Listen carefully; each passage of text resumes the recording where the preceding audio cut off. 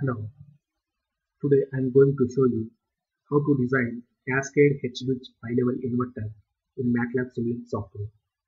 This is the circuit diagram of Cascade H-bridge five-level inverter and it is, it is the output wave shape of five-level inverter. This Cascade H-bridge five-level inverter consists of two H-bridges. In the previous session, we discussed three-level H uh, three-level inverter. As the level of inverter increases, the number of H bridges will get increased. For a given level of inverter, the required number of H bridges can be calculated by using this formula n equal to m minus 1 by 2 where it is the m is the level of inverter. If it is 3 level, 3 minus 1 by 2, it is 1 H bridge. If it is 5 level, 5 minus 1 by 2, it requires 2 H bridges. If it is 7 level inverter, it requires 3 H bridges. If it is 9 level inverter, it requires 4 H bridges. It requires it can just 4 H bridges. See here, our main objective is how to get this 5 level wave shape at the output terminals of the inverter.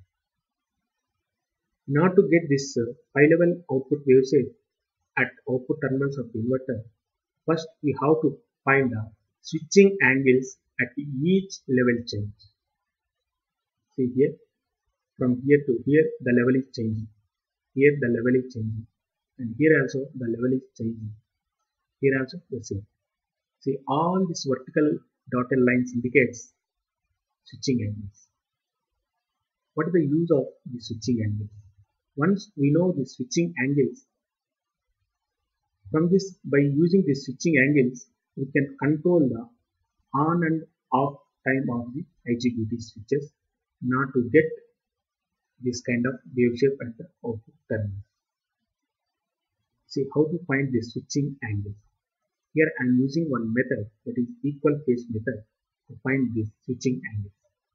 This is the formula of equal phase method where it is the M is the level of output voltage. It may be a 5 level, 7 level, 9 level, whatever it may be. And alpha is the switching angle. By using this formula, you can find two main switching angles that is alpha 1 and alpha 2. Why? Because it is 5 level. 5 minus 1 by 2 means 2. That's why you can calculate alpha 1 and alpha 2 by using this formula. That is alpha 1 is at 60 degrees, alpha 2 is 60, 72 degrees. From this main switching angles, we can find the remaining angles alpha 3, alpha 4, alpha 5, alpha 6, and alpha 7 and alpha 8.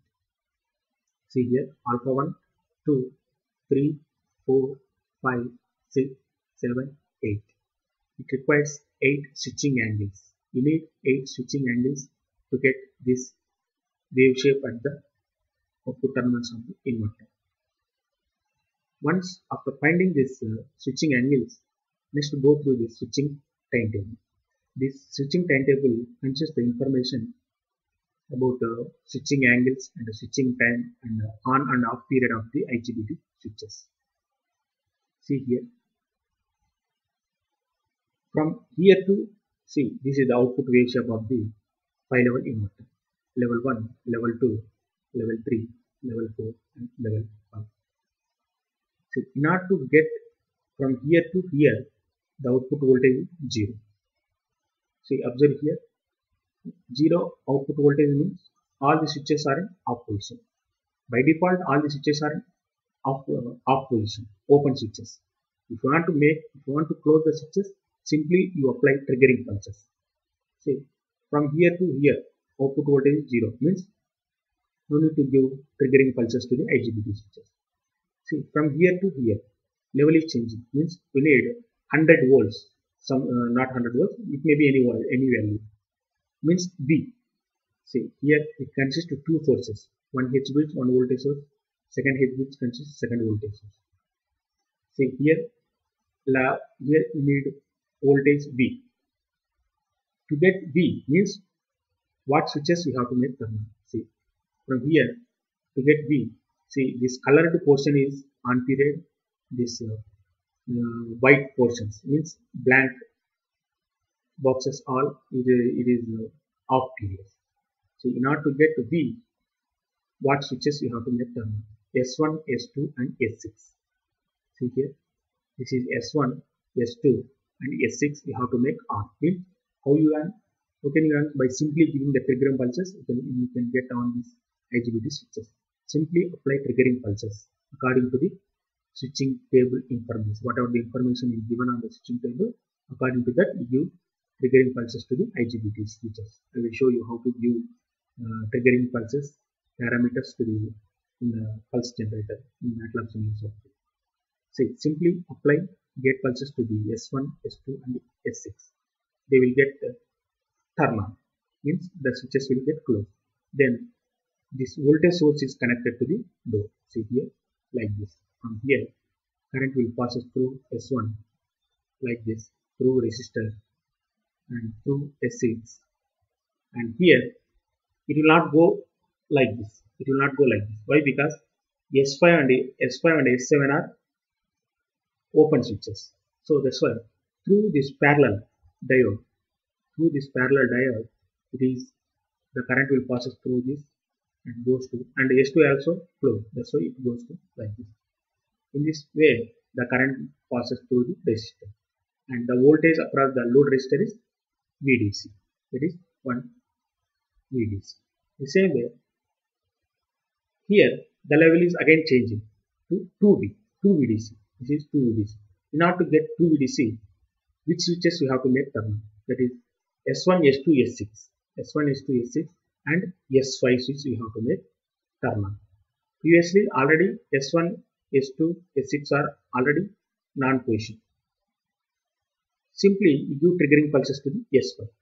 Now the current passes through the load is like this. From here to here like this like this like this. It will go through this one. Why? Because it will not go like this. Why? Because the current always passes through low resistance path this is the low resistance path. Why? Because the switch is closed. This is the low resistance path compared to this one. That's why it will go like this. Like this.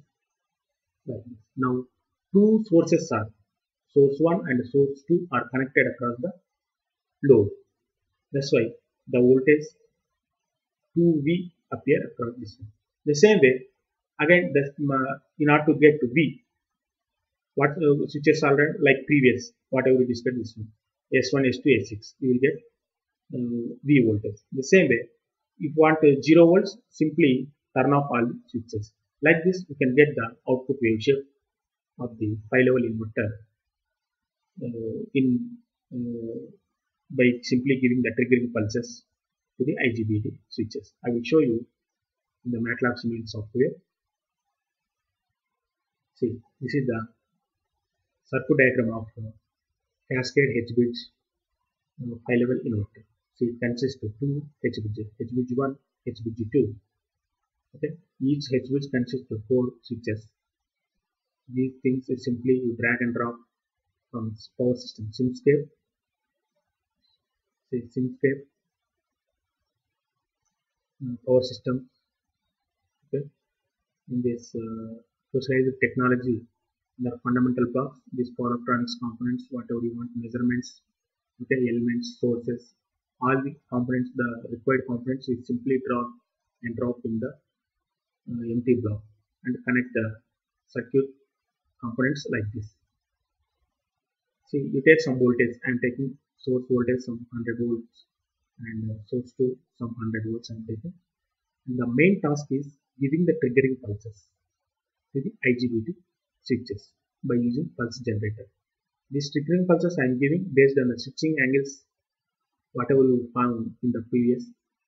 Based on the switching angles, I am giving these uh, parameters to the pulse generator. See, this is the amplitude, any value can give.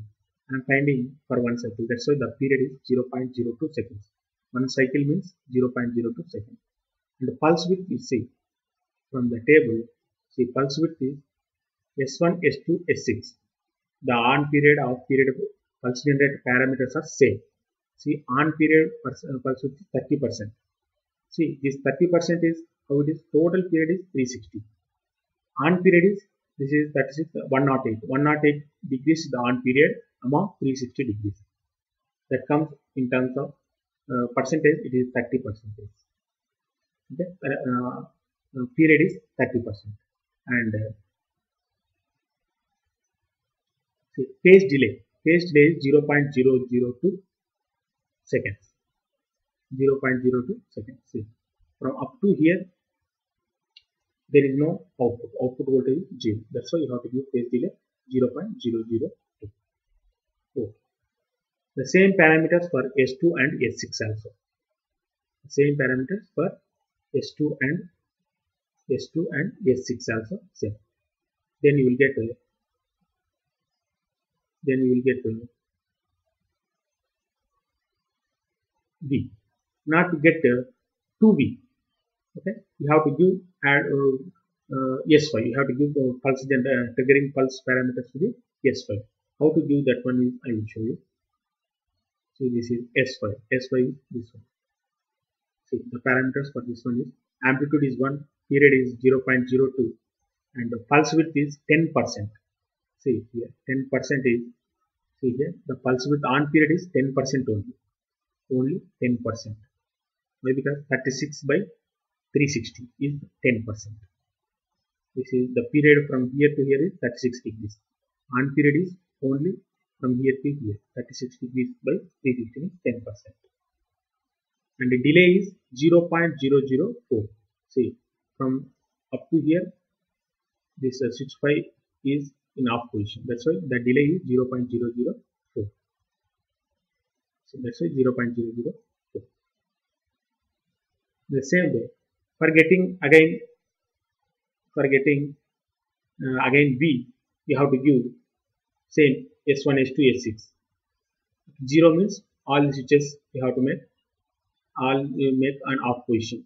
The same way minus V means not to get minus V. What switches we need? S7, S4 and S8. S7, S4 and S8. See, S4. Amplitude 1, period is 0.0 second, pulse width is same 30% and phase delay is 0.012 0.012 see up to here these S7 S4 and S8 switches are in off position that's why the phase delay is 0.012 you have to give? 0.012 and the on period is 30 percent. On period is 30 percent.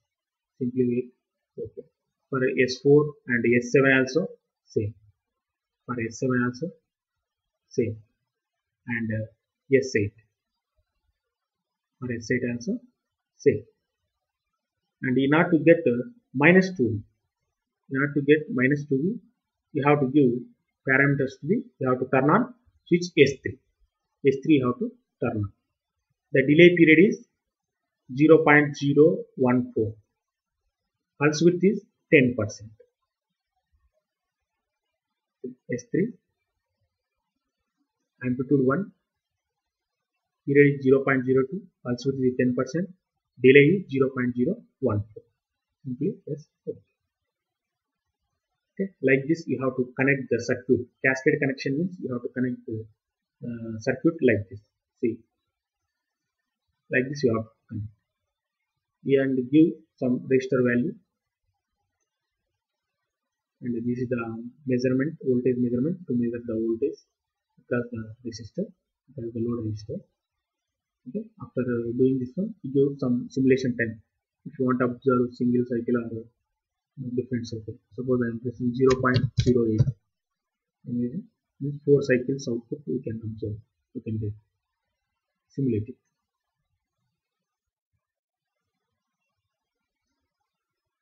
see this this is the five level output page.